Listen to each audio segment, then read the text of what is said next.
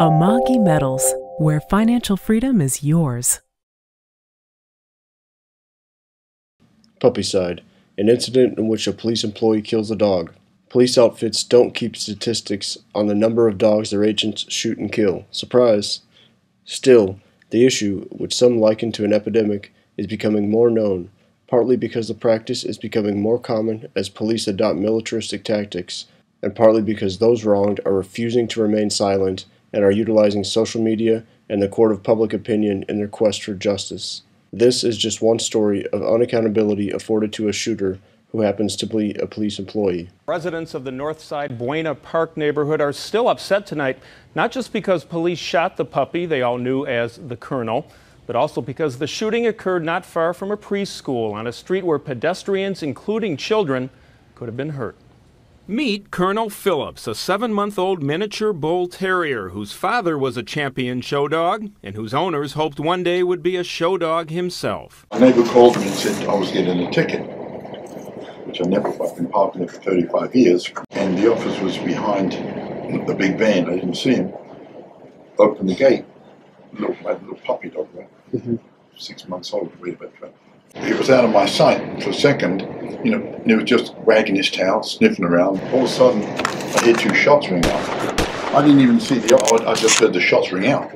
And the dog scampered down the road until, of course, it, you know, it, it collapsed and the neighbor carried it back. Um, and then the officer, with complete aplomb, you know, put his gun and continued to write the ticket. Didn't now had this little puppy dog been dangerous, I imagine he would have pursued it to kill it, but of course it wasn't. And the worst thing was that there were children, those could have well ricocheted into the uh, into a child.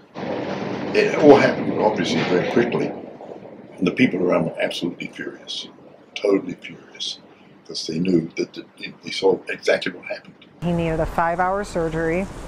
Um, they took shrapnel out of his stomach. He had a shell casing in his leg. Then I went over to the police station uh, to report it, and a high ranking officer came out and listened to my story as well. And he said, I guess I think it's a justifiable shooting. I said, Of course, we're going to say that. That's your boy. The fact is, absolute irresponsibility. I mean, if by the slightest imagination you feel this dog was, you could have just pushed it away with your foot. It's like a little tiny dog. This is pathetic. You know, this is a guy walking around with a firearm, nuisance, irresponsible as this. But the odd thing is, he never suspended the guy. You think to take him off the street for investigation. This is not even a marginal report. This was a little tiny thing, you know. So make no sense. While I interviewed the dog's owners, I saw two police officers drive by. 90 minutes later, they were back, asking Phillips why he had contacted the media, and then giving Phillips a ticket for not keeping the colonel on a leash. Later, that ransom note was thrown out. Pet bill was something like $12,000. It was a thoroughbred dog. My wife had just bought it. We planned on breeding it. We can't breed it now because it penetrated its reproductive, so that's the end of that.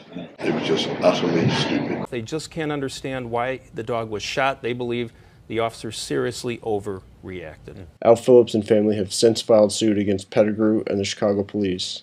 Their motivation? They don't want to see the situation happen to anybody else. Garry McCarthy, the top dog at the Chicago police outfit, when trying to do damage control around the incident, said, We have to shoot dogs frequently in this city. Huh? Yeah, I want to let you know I'm recording this call for my record, but I was hoping to talk to someone about the uh, incident involving Officer Pettigrew. Uh, was okay, sir. I'm going to give you a number to the Independent Police Review Authority, and that's who uh, handles complaints against the police. 312-746-3609. All right, appreciate it. Have a good day. Good afternoon, Independent Police Review. Yeah, hi. I want to let you know I'm recording this call for my records, but I was hoping to talk to someone about the incident that happened late last year involving Officer Pettigrew uh, with uh, the dog Colonel. Okay, what I'm going to do is transfer you to our intake area and let them know. Independent Police Review, can I help you? Yeah, hi. I want to let you know I'm recording this call for my records, but I was hoping to find out some information related to the uh, incident that happened late last year. Uh, an officer, uh, Pettigrew, who works out of Chicago's 19th district, who was involved with the. Nothing's coming up in uh, 19. No, but they could find no record of the investigation. How would the situation been handled differently if the shooter of Colonel didn't wear a badge?